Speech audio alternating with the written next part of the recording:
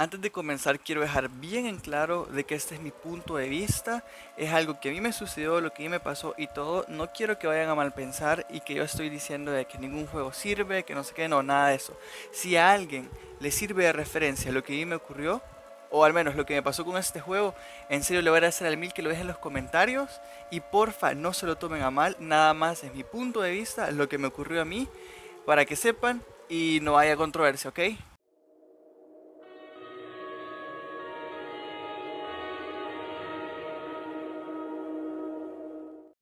Saben, la última vez estaba en clase y fue como que bien gracioso porque estando en clase me puse a pensar así como que, ok, yo he jugado un montón de videojuegos, un montón de shooters, de hecho los shooters son de mis juegos favoritos, es como de mi género, ¿saben? Y todo. Y fue como que, ok, creo que de tantos shooters que he jugado, me siento como quizás con el poder o la potestad de poder dar mi punto de vista en cuanto a un juego en peculiar entre los juegos que he jugado para que sepan un poco, ¿verdad? O sea, no es que yo sea un gran, ¿qué? Un gran sabedor de videojuegos ni nada de eso, o que ha jugado prácticamente todos los shooters. Pero a ver, entre los que he jugado son el Battlefield, he jugado el Call of Duty, he jugado el, el, el Manhunt, he jugado también el Bioshock, entre otros. Entonces yo me dije, ok, prácticamente los shooters que he jugado pecan. Bueno, no es que pequen, sino que he hecho hasta cierto punto quedar en un lugar en el cual se siente monótono. No sé si me voy a entender, no sé si estoy siendo claro, pero si llega un punto de que se siente como esa monotonía, que se cae en lo mismo de estar haciendo solo disparar, de ir de un punto A a un punto B y todo. Y fue como que dije, bueno, esto me ocurre en serio con estos shooters y todo. No estoy diciendo de que sean malos, ojo, o sea, quiero, quiero que queden claros, no estoy diciendo de que sean malos, que no me gusten, nada por el estilo. Sino que estoy diciendo de que me puse como a analizar y saqué como conclusión esto. Y ahí yo dije, pero de hecho hay un juego que yo le he sentido como distinto.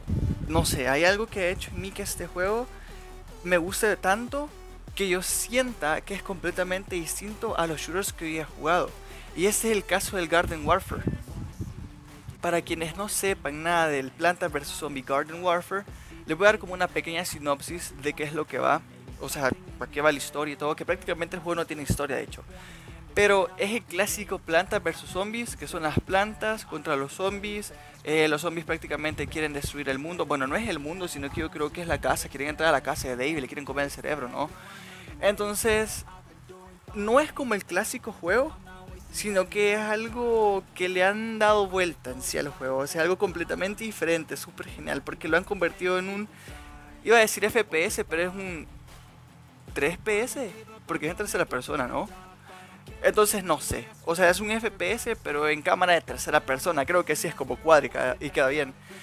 Entonces, ok, a lo que viene esto es que en lugar de estar poniendo las plantas como en el juego de móvil, aquí nosotros tomamos el control, ya sea si somos del equipo de las plantas, tomamos el control de las plantas, el lanzaguisante, el girasol, el cactus, la planta carnívora, incluso el limón o el, el, pomodoro, no recuerdo cómo es que se dice, pero ese ya entra dentro del Garden Warfare 2.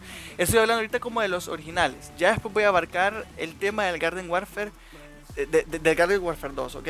O no sé si lo voy a abarcar, no sé, X.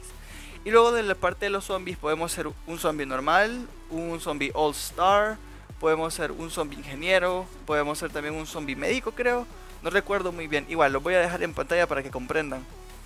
Entonces, aquí prácticamente todo se vuelve súper frenético. Yo creo que a mí me cautivó bastante porque en serio era algo que yo estaba esperando de Planta vs Zombies. Yo creo que era un tipo de juego en como yo quería que desarrollaran Planta vs Zombies. No sé si estoy siendo claro. Yo dije, ok, yo voy a ser sincero. La primera vez que yo jugué Planta vs Zombie, o bueno, de hecho que vi el juego de Planta vs Zombie, siendo franco, a mí no me gustó nada. O sea, sentía que era un juego súper aburrido, solo de tapear, poner la planta, que el zombie se acercara, esperar e ir, recolectar soles, boom, plus plish, y ya después, o sea, que no, que no entraran a la casa, ¿no? Y todo. Entonces se me hizo como que aburrido. Yo dije, bueno, o sea, no sé, no creo que vaya a jugar ese juego alguna vez. Ya después fue como que le dio la oportunidad y dije, no, a ver, le voy a dar la oportunidad, quiero jugar, a ver qué tal, cómo me va. Y lo jugué. Y siendo franco, No fue que me encantó, pero me gustó el juego. No lo voy a negar, me gustó el juego, aunque solo fue tapeado. Ojo, que estoy hablando ahorita del Planta vs Zombies, que es para móvil, ¿ok? De la versión móvil. Para que no vaya a haber controversia y ni vayan a mal. Después de que jugué este Planta vs Zombies, la versión móvil, jugué, eh, yo creo que hay un Planta vs Zombies 2, ¿cierto? O sea, para la versión móvil, no recuerdo, pero si hay, entonces lo cito. Y todo. Y yo dije, ok, o sea, sí me ha gustado bastante el juego, pero siento que sería genial si le dieran un vuelto, una vuelta al juego y que el juego se pudiera jugar en primera persona o encarnar aunque sea un zombie o una planta y poder atacar. Y yo no sé qué fue lo que pasó, pero yo creo que me escucharon. Ojo, que el juego no, no, lo toqué nomás salió, sino que lo toqué más adelante. Yo ni tenía la existencia de este juego. Entonces, recuerdo de que mis hermanos habían visto ese juego, el Planta vs Zombies, Garden Warfare. Ojo que este es el 1. Yo sé que he hecho directo el 2 en mi canal de Twitch. De hecho, les dejo las redes sociales para que me sigan, ya sea en Twitch, en Twitter, en Facebook y toda la onda. No se pierdan ningún directo que yo sé que les va a encantar. Traigo muchísimo contenido. Besote. Ok, después de esa pausa. Eh, recuerdo que mis hermanos estaban súper empilados con Planta vs Zombies. Y fue como que vieron un juego de Planta vs Zombies para Play. Y cuando yo lo vi fue como que, fuck, o sea, va a ser el mismo juego que el de móvil, solo que se va a poder jugar en un Play. Y yo dije, no, eso no tiene ningún tipo de sentido, es lo más estúpido. Ojo, eso fue lo que yo dije en su momento. Cuando mis hermanos lo compraron y lo vi por primera vez, creo que fue que me enamoré de ese juego. Y de hecho, ¿por qué el título del video? Siendo franco, aquí es donde va a venir mi punto de vista, lo que yo siento y el por qué yo estoy diciendo de que Plantas vs Zombies de cierta manera quizás, bueno, Garden Warfare de cierta manera quizás ha revolucionado los shooters. De todos los shooters que jugué, incluyendo Battlefield y todo, que Battlefield es un buen shooter de hecho, este Planta vs Zombies tenía algo que no sé. Juro que hacía que me diera vuelta la cabeza. No, se me explotara la cabeza. No que me diera vuelta, sino que me explotara. Y había algo en el juego que a mí me encantaba. No sé si era tanto por su estética, por el tipo de gráficos, por la ambientación o por lo frenético que es. Porque quienes no han jugado Plantas vs Zombies Garden Warfare, déjenme decirles que se están perdiendo de una joya. En serio. Es un juegazo. Así como lo digo, es un juegazo, me encanta, me encanta el momento en el que tú puedes ser una planta y tenés que salir a darte a golpes, ya sea con los zombies o ayudar a tus compañeros, de hecho, y todo. Y me encanta también el punto que puedes encarnar los zombies y que tenés un montón de opciones. O sea, tienen ataques especiales, tienen healers, tienen incluso como un ultra ataque. Bueno, no es un ultra ataque, sino que más que todo es como un ataque final que lo tienes que adaptar para poder atacar y ser mejor y todo y poder derrotar bastante. Me encanta. De hecho, voy a ser franco y uno de los de las plantas que más me encantaba a mí era el lanzaguisante tóxico. Yo creo que como esa estética que le pusieron a todas las plantas que tenían diferentes skins desbloqueables, ufa, yo creo que eso fue lo que a mí me encantó bastante, ver el, el, cactus de fuego, el cactus de hielo, el lanzaguisante tóxico, el lanzaguisante de piedra, ya estoy entrando dentro de Garden Warfare 2. Quiero que sepan que voy a hablar de Garden Warfare 2 y Garden Warfare. O sea, lo estoy englobando, ¿ok? No vayan a mal pensar y todo, no se sientan tan perdidos. Igual, y a ver del lado de los zombies que podía ser un zombie normal, un ingeniero, un soldado, un all-star y ver las diferentes habilidades que tienen, me gustó muchísimo. De hecho, hay bastantes juegos, yo sé ahora en día, que cuentan con un montón de mecanismos o mecánicas en cuanto a habilidades, pero siento que este juego lo hace a su manera, lo hace peculiar, lo hace distinto. Y es como lo que me gusta. Tiene incluso unas mecánicas en las cuales si sos planta, puedes sembrar unas plantas que te ganas ya sea en unos sachets o en unos sobres, las pones, las sembras y te puede ayudar tanto para darte vida el girasol, eh, el bong choy que es una planta melee que la pones en una, en una maceta y empieza y se acerca un zombie y le empieza a dar duro, o incluso la petaceta, que no recuerdo qué era lo que hacía, pero es súper genial. Después voy a hablar de los sobres. Y si tú eres zombie, tenés la opción de poder poner tumbas o reencarnar zombies. Ya sea, yo creo que solo zombie normal se puede. No estoy muy seguro, pero yo creo que es zombie normal o si no el zombie, un zombie especial. No estoy seguro ahorita de eso, pero igual en el video lo estarán viendo ahorita. Eh, eso es como que algo que me gustó muchísimo. Es un tipo de mecánica que tal vez otros juegos la pueden tener, pero este juego siento que lo pude implementar de una forma en la cual yo no sabía que estaba usando una mecánica del juego, pero estaba disfrutando de ello, ¿saben? Quiero que sepan algo. Yo soy una persona que sí juzgo de primas a primera cuando veo los gráficos y el gameplay y a veces no quiero como quedarme a jugar todo el juego o darle una buena probada para poder decir, ah, sí, me gusta el juego y no. Si el juego de primas a primeras no me gustó, prácticamente lo tacho de que no me gusta, de feo y no de malo, sino que a mi parecer. Quiero que sepan que es a mi parecer. Y como que me aburro, me salgo y todo. Y este no fue el caso con Garden Warfare. De hecho, saben, me gusta muchísimo todo el frenesí que hay, tanto como si sos planta, como si sos también zombie. Me encanta eso, me encanta de que es súper colorido, me encanta de que es súper frenético, me encanta el soundtrack y toda la onda. Me encantan las animaciones, me encantan los poderes, las habilidades, todo es súper cool. En serio, yo les recomiendo al mil que lo jueguen. Sé que se están perdiendo una joya si no le están jugando. Y si quieren ver directos del Planta vs. Zombie Garden Warfare 2, me pueden ver en Twitch. Ok, ahora retomando los sobres, quiero hacer mención de que los sobres son un tipo de mecanismo en el cual nosotros vamos a poder desbloquear ya sea pegatinas de los personajes o incluso vamos a poder eh, desbloquear apoyo. En este caso, si sos zombie, zombies o en este caso, si sos planta, plantas para poder sembrar ya sea en las macetas o zombie en las tumbas, ¿ok? ¿Cómo es que funciona todo este mecanismo de sobres? De hecho, dentro del juego existe la moneda eh, del juego, que estas monedas, al momento de que nosotros las vamos acumulando, vamos a tener la opción de poder entrar a la tienda del juego y poder comprar sobres de pegatinas. Hay diferentes tipos de sobres. De hecho, hay sobres que solo son para resources, que en este caso sería el apoyo, ya sea las tarjetas de planta o las tarjetas de zombie para poder sembrar o poner en tumbas. Luego están las otras que son las desbloqueables, que en este caso viene siendo lo estético, si no me equivoco. Y viene estando los sobres que son un poquito más premium. En los sobres premium estaría entrando nuevas skins nuevos personajes, incluso em, nuevos accesorios, entre otras cosas. Así es como funciona. ¿Y cómo es que nosotros ganamos el dinero en cuanto a poder comprar esto? En los desbloqueables y todo. De hecho, la manera en cómo se puede, ya sea por dinero físico, ¿no? O sea, metiéndole dinero al juego. O si no, también lo podemos conseguir jugando. Ojo, que esto es lo que me gusta bastante esto es donde yo digo quizás, ok, me encantó muchísimo, me gusta, en serio. La forma en cómo vas obteniendo monedas en el juego es súper genial.